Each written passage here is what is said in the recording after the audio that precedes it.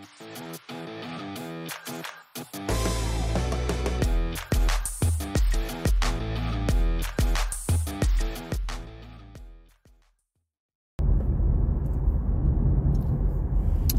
right, everybody. So, spoiler season is officially, unofficially here.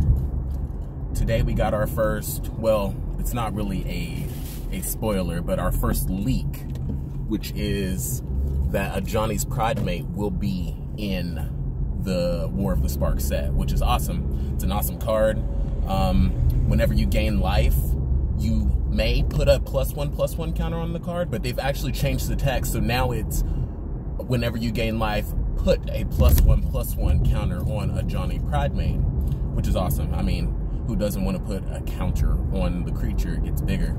Um, what I'm really loving from the new card, the the new version of the card rather, is the new art is awesome. Um, you'll see it pouncing there on what looks to be like some Eternals, just decimating them, which is awesome. I want to see Bolas foiled in every way possible. So the more that gets done to him, the better. But um, what I also love is the flavor text, which kind of tells us a little more about the story in the way that um, I don't have the card right in front of me, but I'll put it up on the screen for you guys.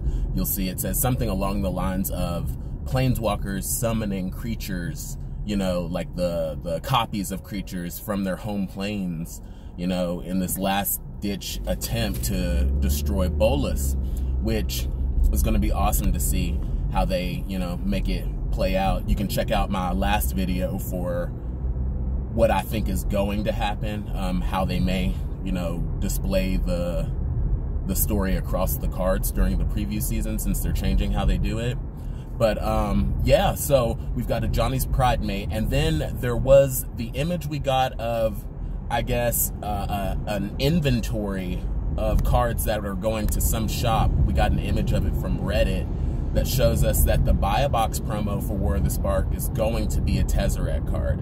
It says Tezzeret Master, and some people think it's going to be Tezzeret Master of Metal, but I don't think that's going to be it. I think it's going to be a complete brand new card. Tezzeret Master of Destruction. No, Tezzeret Master of Manipulation. Master Manipulator. Um, it's going to be something along the lines of that. Uh, they've done the same thing with Chandra, like naming her the same thing several times. So there's precedent for Master being in the name twice on two different cards. So we'll see how that goes. But yes, we have begun on Sunday at Mythic Invitational. My last video, I said it was going to be at PAX East, but it's actually going to begin at Mythic Invitational on Sunday there is going to be the 16 cards spoiled for War of the Spark. And of course, I'm to make a video for all those on Sunday. So that'll probably be the next video I post after this one. So you guys have a great weekend. And as always, Vorthon Vorthos.